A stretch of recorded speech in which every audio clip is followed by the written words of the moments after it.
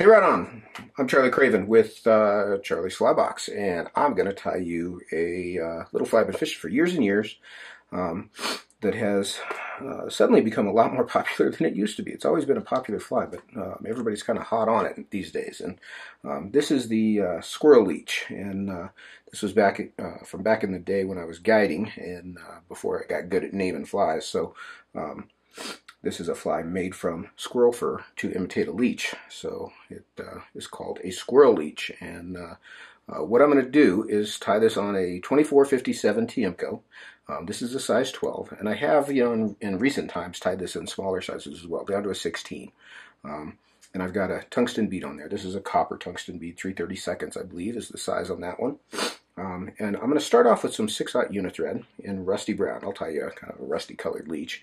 Uh, but I'm going to take this unithread, I'm going to start it behind the bead, and I only want to wrap back to about the point on the hook. And I'll dress that shank pretty solidly right there. Um, the first thing I'm going to tie down is just a strand of red Flashabou. And you can use red or gold. I've sort of experimented with different colors. Um, I'm going to tie that down with three or four turns. You can see it's dangling back there. Um, and this front end I'll fold back and catch it with a couple turns and then I'll trim it off. So I just want a single strand there. Um, turn just right, you can see it. There it is. Um, just a little bit of subtle flash. And now for the tail, this is a super easy fly, I should mention. You're about to find out. Um, I'm going to take a strip of whatever color squirrel you want, whatever colored leech you want to tie. Uh, I'm going to take a strip of squirrel hide in that color.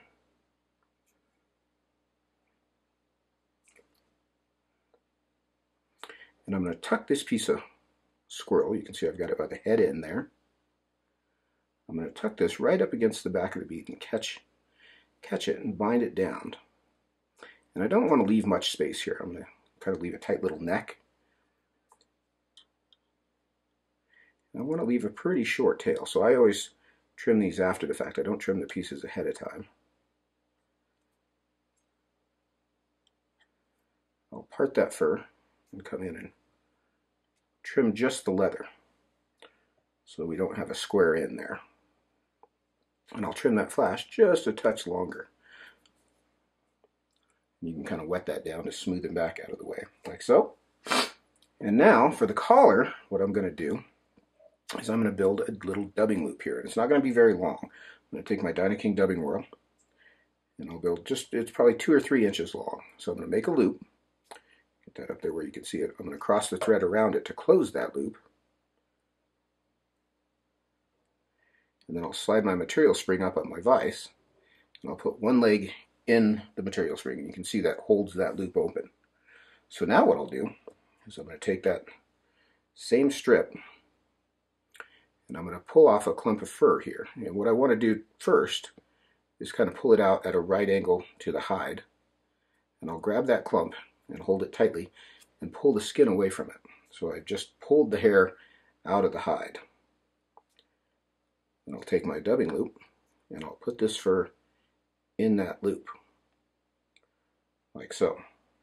Now you can see, actually with this camera you can really see it, that's nice. Um, there's some little stubs of that hide left on there. So I'll come in and trim those out with my scissors. I'm going to pinch the dubbing loop just under that fur and spin my whorl. And what that's going to do is make a nice little furry chenille, like so. I'm going to use that as the collar. Um, so as I wrap this, I want to treat this like a soft tackle. So I'm going to make a turn, sweep it back, another turn, sweep it back, and I want to jam this right up to the bead um, but you don't want to overdo it. It shouldn't be too heavily dressed. And then I'll tie that off just behind the bead with a couple good tight turns. And then I can trim that loop out, wet my fingers a bit, and sweep this back. And just enough of a little thread head there behind the, the bead to clean things up. And then I will whip finish.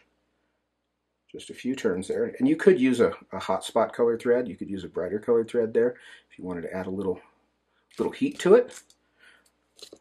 I kind of use my dubbing brush to just pick everything back and sweep everything back where it needs to go. And that is a simple little squirrel leech. This is a fly that gosh, I, I, don't even know how long I've been fishing it. Umpquist carried it for quite some time.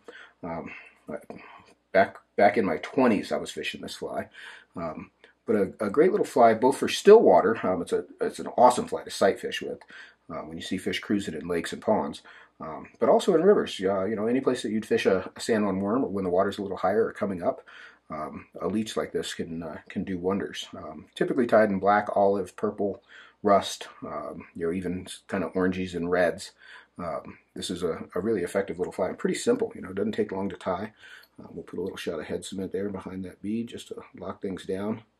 But that is Craven Squirrel Leech. Uh, that was my contribution to the flies that suck category. Um, and there you have it. So I hope you like that one tied up. Uh, you know, keep in mind you can uh, you could alternate colors too. You could do a, a, brown tail with a black collar or black tail with a brown collar, kind of mix it up a little bit. Leeches do have some variegation to them. Um, I've had particularly good luck with uh, um, olive with a natural collar, um, but you can you can mix that up however you like. But really a cool little fly, pretty quick and easy to tie. Hope you like it. Uh, go put it to work. See if you can't catch a fish.